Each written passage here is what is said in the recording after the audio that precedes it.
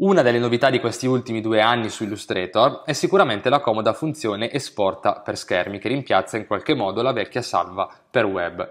Si tratta sostanzialmente di un nuovo modo di generare risorse di diverse dimensioni e formati file con un solo clic. In poche parole questa nuova funzione rende rapida l'esportazione di icone e loghi soprattutto per quanto riguarda flussi di lavoro web e dispositivi mobile. Vi faccio un rapido esempio. Nel mio documento abbiamo due tavole da disegno contenenti diverse icone. Adesso vi mostro un po' l'opzione esporta per schermi, quindi vado su File, Esporta, Esporta per schermi. A questo punto mi trovo all'interno di una finestra di opzioni in cui nella parte superiore sono presenti due voci.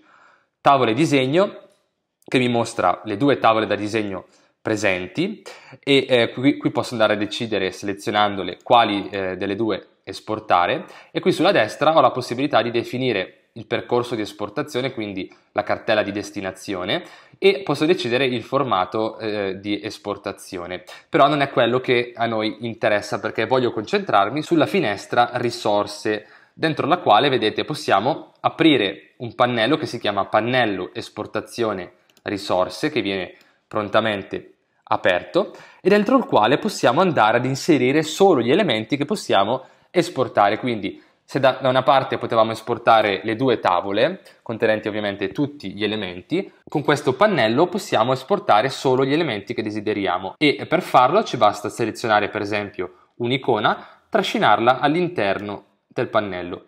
Ok, vedete che viene generata una risorsa che possiamo andare a rinominare in cartella e questo sarà il nome del file, quindi il file verrà esportato in un formato PNG e avrà il nome di cartella.png. Possiamo quindi andare ad inserire anche questa bandierina, rinominarla come bandiera, quindi selezionando ovviamente le risorse da esportare, facendo clic sul pulsante esporta, verranno esportati due file in PNG, ovviamente rinominati cartella e bandiera. Potrei eventualmente anche aggiungere più risorse contemporaneamente per farlo basta selezionare, selezioniamo per esempio queste quattro risorse e le trasciniamo all'interno del pannellino. Vedi che vengono eh, separate automaticamente e quindi in questo caso otterremo sei diversi file in formato PNG. Se invece trasciniamo e teniamo premuto il tasto Option oppure Alt, verrà creato eh, un'unica risorsa contenente le quattro icone, quindi abbiamo diversi modi per andare a esportare le nostre risorse. Un attimo però perché non è tutto. La funzione esporta per schermo infatti permette di fare molte più operazioni contemporaneamente. Per esempio permette di esportare questi file in più formati e in più dimensioni con un semplice clic. Possiamo infatti andare ad esportare il file in diverse scale, quindi vedi qui che abbiamo la possibilità di de- definire eh, diversi tipi di scala e diversi formati. Come fare? Allora è molto semplice, vado a rimuovere alcune risorse, quindi le seleziono, tenendo premuto il tasto Shift e faccio clic sul cestino. Teniamo come riferimento queste due risorse. Allora, in questo caso, andando a selezionare le due risorse facendo clic su Esporta, verranno esportate in 1 per, quindi nella loro di- dimensione naturale, la dimensione che abbiamo creato all'interno di Illustrator, in formato PNG.